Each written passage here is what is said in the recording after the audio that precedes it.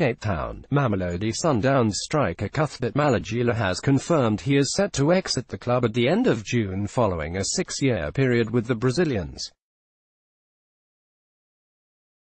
The 33-year-old has struggled to break into the starting lineup in recent seasons with the likes of Lebohang Maboe, Jeremy Brockie and Emiliano Tade often preferred in the number 9 role in 2018-19 as well.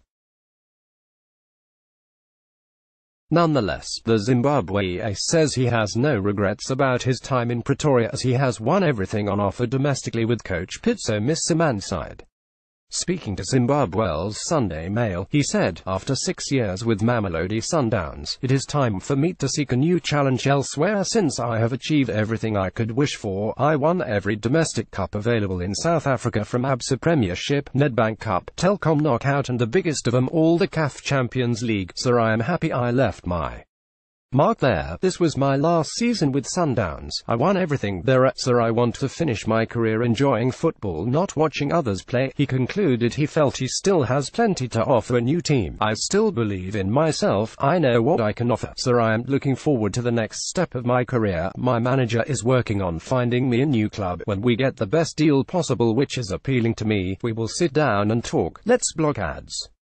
Why?